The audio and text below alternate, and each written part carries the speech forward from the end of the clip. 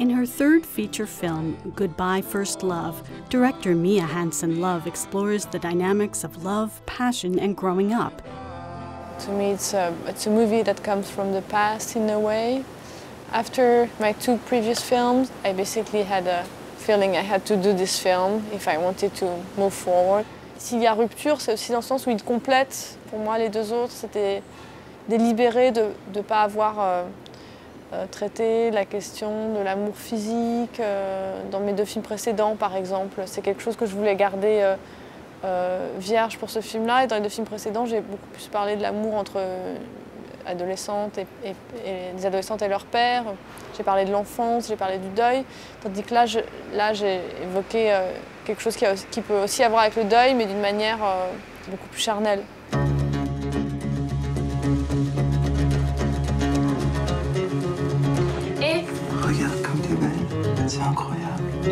C'est l'homme de ma vie. Enfin, Camille, depuis que tu sors avec Sullivan, tu n'arrêtes pas de pleurer.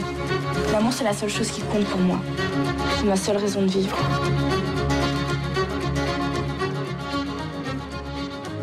Je vais repartir avec Julien et Mathias. On va retourner en Amérique du Sud. Et Camille, tu vas l'amener? Je veux pas que tu t'en ailles. Lâche-moi. Gracias a la Je vais devenir sans toi. que me ha dado tanto. Le choix des acteurs est quelque chose d'absolument capital. Pour moi, c'est quasiment la partie, euh, c'est à la fois la partie la plus douloureuse et la plus excitante euh, de la création du film parce qu'il y a toujours des moments où on a l'impression qu'on ne les trouvera pas et où du coup on est au bord de renoncer au film. Enfin, ça m'est arrivé en particulier sur le personnage de Sullivan. J'ai mis des mois à trouver euh, l'acteur et c'est pour ça que je me suis finalement tournée vers un comédien allemand parce que j'ai pas trouvé en France l'acteur qui correspondait à ce que j'imaginais. Et pour moi, c'est sacré. Quoi. Le choix des acteurs, c'est quelque chose sur lequel il n'est pas possible de faire euh, le moins de compromis. Je ne pourrais jamais choisir un comédien en fonction de son degré de célébrité. Peut-être un jour, je travaillerai avec des acteurs connus, mais ce ne sera pas la raison pour laquelle je travaille avec eux. Euh, parce que ce sont eux qui donnent l'âme au film. Ils transforment les personnages aussi ils font que les personnages à la fin sont autre chose que ce qu'ils étaient au départ. Donc euh, pour moi, la question de l'acteur, c'est vraiment la question de, oui, de, l'âme du film et de l'aura, de la présence, c'est tout.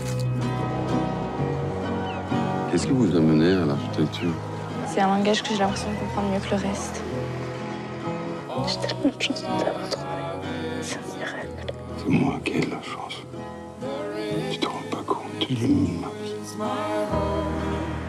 Et ce que j'essaye de faire dans mes films, c'est de, de renoncer à aucune nuance, quoi, de, de- de préserver la complexité des choses, le- leur par- les paradoxes, les, les contradictions, et en même temps de les mettre ensemble dans une forme qui est une forme de simplicité ou d'immédiateté. C'est d'avoir à la fois l'immédiateté dans la forme et puis la complexité dans le, fond.